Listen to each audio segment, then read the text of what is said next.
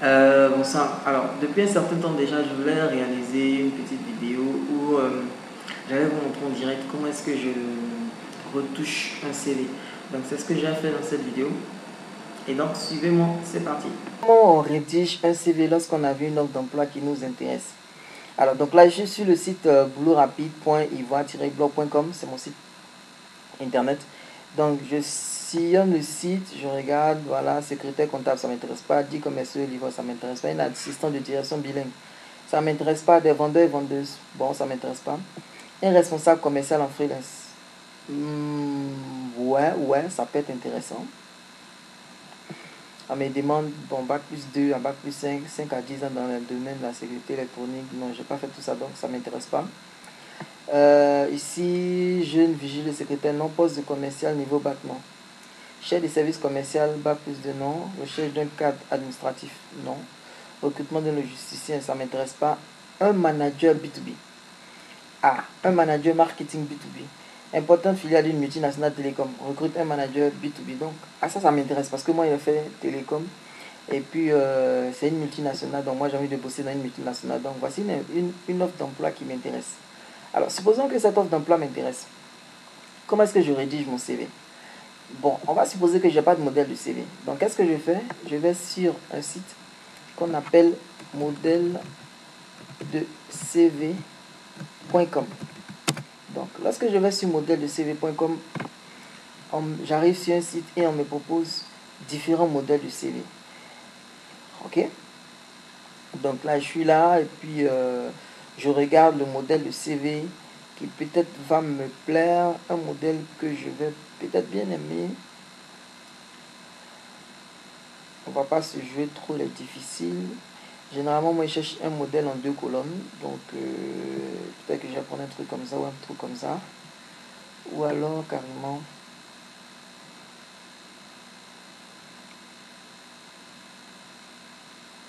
Bon, tous les modèles sont un peu... Euh, dans le modèle auquel ne me convient. Donc, euh, bon, euh, on, va prendre, on va prendre lequel? Bon, on va supposer qu'on prend celui-là. Hein, c'est n'importe lequel, on va juste prendre ça pour essayer. Voilà. Bon, donc, automatiquement, dès qu'on clique, le modèle se télécharge sur la machine. Et voici notre modèle de CV qui est ouvert. Alors, Ici, il faut une photo. Bon, donc on va, on va s'occuper de ces détails-là plus tard. Mais ici, dans le modèle qu'ils nous ont proposé ici, on nous, on, nous met ici compétences. Donc je viens sur mon offre d'emploi. Et puis je regarde, est-ce que l'offre d'emploi euh, énonce un certain type de compétences en particulier? On dit rattaché au directeur marketing, c'est la conception et la mise en œuvre d'un plan marketing annuel adapté au marché B2B afin de garantir la performance commerciale de ce segment. Ici, on se dit, à ce titre, vous devez gérer, tant, tant, tant, on nous donne exactement ce qu'on attend de nous. Et puis, une formation Bac plus 5 en marketing, donc on nous donne exactement quel type d'expérience on doit avoir. Euh, voilà. Et puis, maintenant, vous, à la fin, on dit capacité de management, sans la négociation, ce sont les atouts qu'on attend. Et puis, qu'est-ce qu'on demande? D'adresser une lettre de motivation CV avec photo et prétention salariale à SIFI. Donc, on va essayer de rédiger un CV qui puisse être percutant, qui puisse venir répondre à cette offre d'emploi. Ici, on dit on cherche un marketing manager B2B. Donc, quelle est la première chose que je dois mettre dans mon modèle euh, de CV C'est ici, marketing manager B2B. Juste en dessous, je mets le nombre d'années d'expérience. Bon, moi, j'ai euh, commencé à travailler en 2005, en 2006 dans le domaine de télécom. Donc, de 2006 à 2011, ça nous, à 2012, ça nous fait 5 ans, 6 ans d'expérience j'ai commencé en réalité à travailler en 2003. Donc, euh, je suis aujourd'hui à ma 9e année d'expérience. je vais mettre 9 ans d'expérience. Voilà comment on rédige la première partie manager, marketing manager B2B, 9 ans d'expérience. Ensuite, euh, on demande des compétences et puis après, on va demander expérience professionnelle. Ok? Donc, au niveau des expériences professionnelles, j'ai travaillé de à Comium Côte Bon, depuis, depuis, je suis chez Comium Côte d'Ivoire. Depuis 2000, 2009. Donc ici, on va mettre depuis 2009. Et ici, qu'est-ce que j'ai fait? Je viens dans mon offre d'emploi et ici on me dit ce que je dois dire que j'ai fait, c'est gérer en mode projet la conception, les lancements, les évolutions des offres, produits et services. Qu'est-ce que je vais mettre? Donc, qu'est-ce que je vais mettre ici? Euh, Je vais dire que j'ai été à Comium Côte d'Ivoire depuis 2009. Alors, je vais mettre mon titre. Mon titre, j'étais... Euh, alors, je vais mettre fonction, chef de service, offre et promotion. Donc, en tant que chef de service, offre et promotion, j'ai fait beaucoup de choses. Mais tout ce que j'ai fait ici, ce n'est pas très très important. C'est ce que eux ils demandent comme... C'est ce qu'ils ont comme attente qui est important. Donc moi, qu'est-ce que je viens faire? Je viens copier les attentes qu'ils ont mis ici. Et je viens euh, les coller simplement dans mon CV. Alors, donc, en tant que chef de service, fonction que je souligne, en tant que chef de service offre et promotion à Comium pendant euh, trois ans, bientôt trois ans. Alors, qu'est-ce que j'ai fait? J'ai géré en mode projet la conception, les lancements et les évolutions des offres, des produits et des services. Je l'ai fait effectivement. Ok? Ensuite, deuxièmement, on me demande de coordonner les analyses du marché et de la concurrence. J'ai fait des analyses du marché pour pouvoir lancer mes offres. J'ai fait également des analyses de la concurrence pour pouvoir lancer mes offres. Ok? Voilà. Ensuite, définir les cibles et les objectifs de vente. J'ai fait mes cibles et j'ai défini mes objectifs de vente dans mes business models. Ensuite, établir la roadmap marketing annuelle. Euh, j'ai établi la roadmap marketing annuelle sur mon segment de marché. Ensuite, on me dit analyser les résultats, euh, élaborer et mettre en œuvre les plans d'action corrective. Je l'ai fait effectivement, donc dans le suivi de mes promos. Donc tout ce qu'on demande, je l'ai fait en réalité dans mon travail. Donc je leur dis exactement ce que j'ai fait. Ok? Voilà, donc ici, ça c'est, j'ai marqué la fonction, je peux marquer juste en dessous, euh, principal euh, principale euh, responsabilité.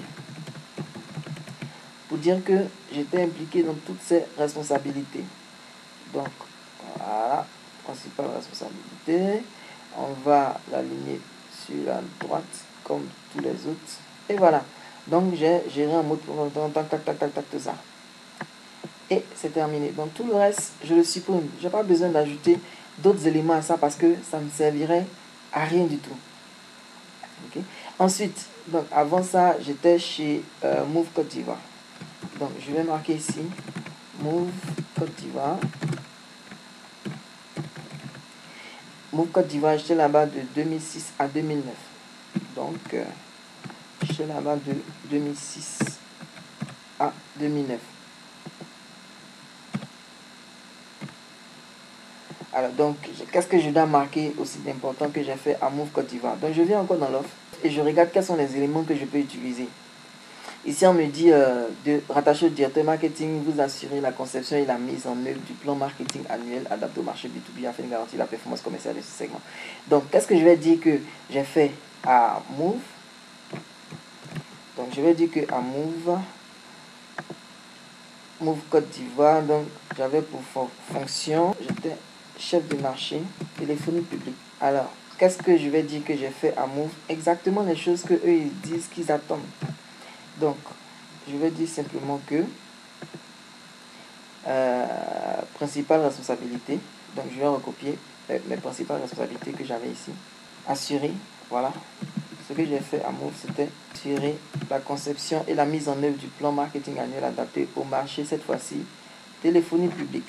Et puis, deuxième point, garantit la performance commerciale de ce segment. Ok? Et moi j'ai l'avantage, comme j'ai l'avantage d'avoir fait ceci, ok? Donc je dis que je peux mettre, j'ai doublé le revenu en un mois et demi. Ce qui est vrai. Voilà. Ok, donc ceci c'est largement suffisant pour mes expériences professionnelles. J'ai pas besoin de mentionner autre chose parce que ça va venir euh, ajouter euh, des éléments superflus. Ça va venir ajouter des éléments superflus. Mais je pense que en termes d'expérience professionnelle, j'ai suffisamment d'expérience professionnelle. Donc par exemple, je peux dire depuis 2009. Ça va faire maintenant euh, de juillet 2009 à décembre 2009, ça va faire deux ans et demi. Dire que ça fait deux ans et demi que je fais ces choses à, à Mauve. Et puis ici, ça fait trois ans. Je l'ai fait pendant trois ans. Donc j'ai cinq ans et demi d'expérience dans les, dans les télécoms. Donc, je suis obligé de mentionner qu'est-ce que j'ai fait avant. Ok.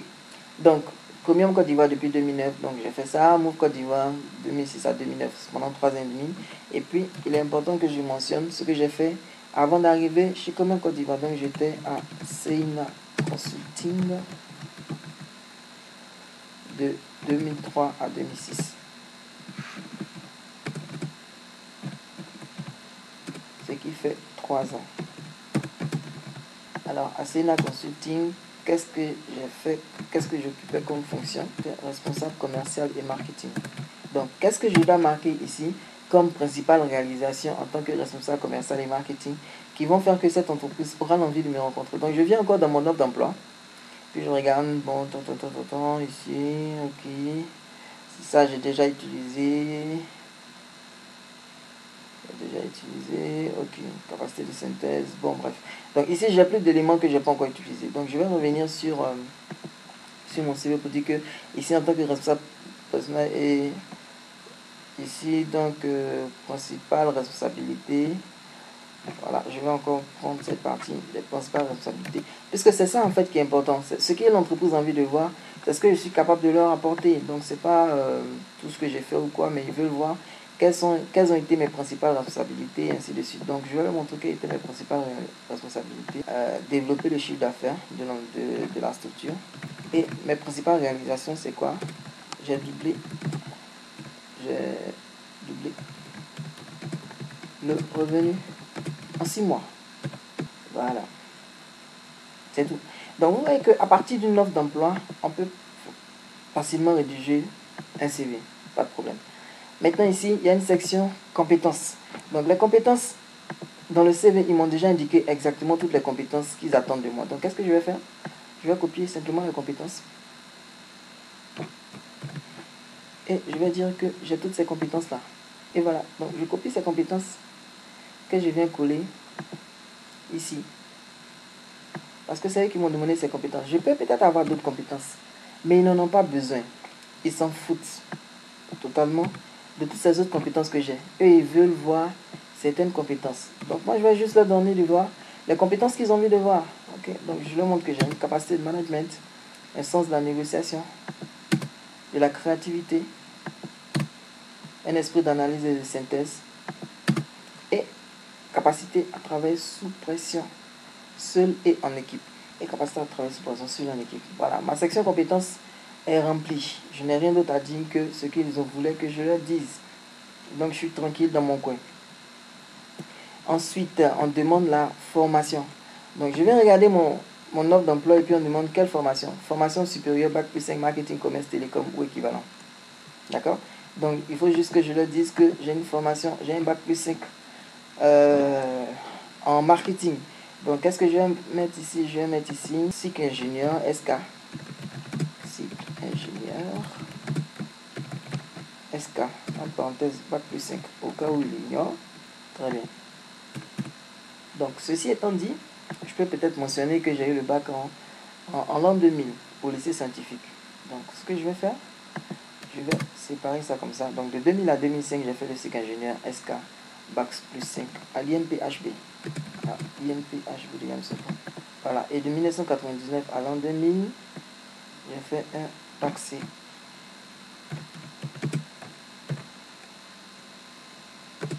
Scientifique de Yamsopo. Et j'ai obtenu avec la mention bien. Ce qui est vrai. Et le reste, j'ai pas besoin de le mentionner. Voilà, parce qu'ils ne l'ont pas demandé. Ensuite, on arrive sur les informations complémentaires au niveau des langues. Donc, je vais regarder dans mon offre ici.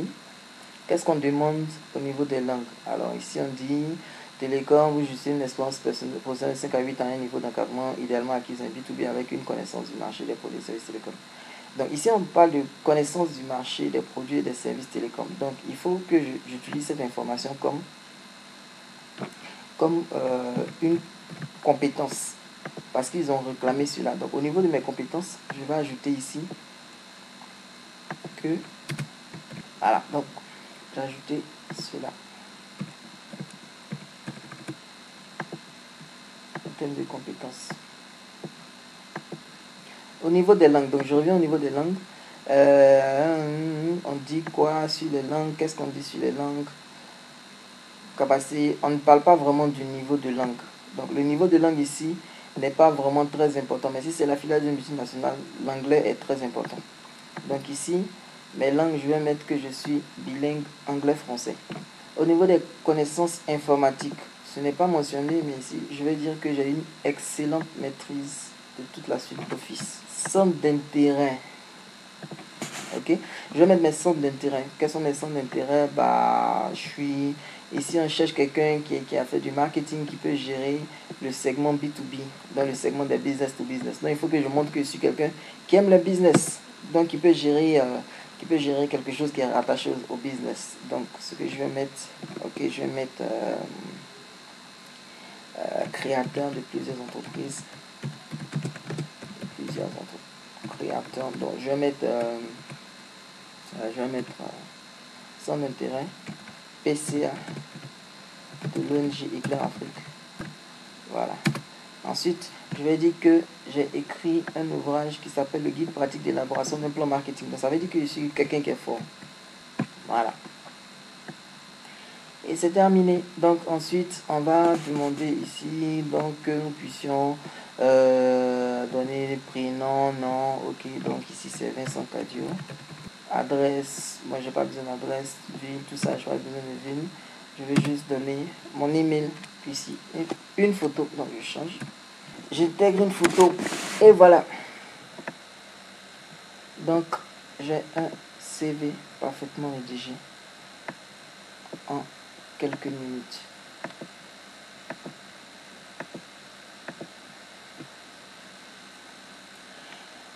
Donc voici un exemple de CV percutant qui est rédigé rapidement l'espace de quelques minutes et qui s'appuie essentiellement et uniquement sur les informations qui sont données dans une offre d'emploi. Merci et puis essayez de faire pareil pour toutes les offres d'emploi.